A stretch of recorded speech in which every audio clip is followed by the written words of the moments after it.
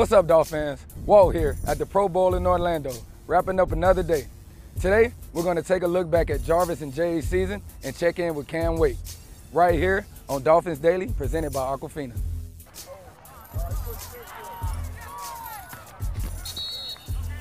This year marks Jarvis's second Pro Bowl appearance and Jay's first.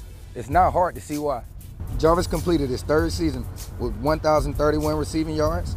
Meanwhile, Jay had a breakout year with 1,007 yards and became the fourth player in league history to rush for 200 yards in back-to-back games.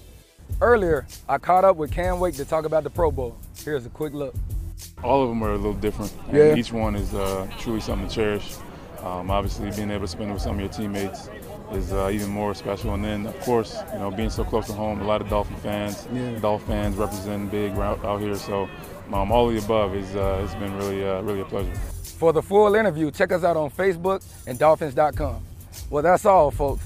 So be sure to refresh your feed for more exclusive information coming from the Pro Bowl. This is the Dolphins Daily, presented by Aquafina. Creeping up on Wake Thank you. in his natural in his natural habitat. Crikey! Look at the size of them. Wow! Look at this animal right here. It's called a Jarvis Landry.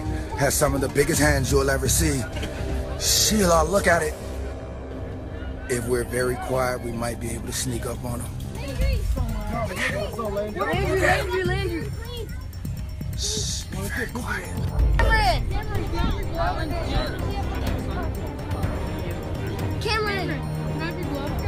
Cameron.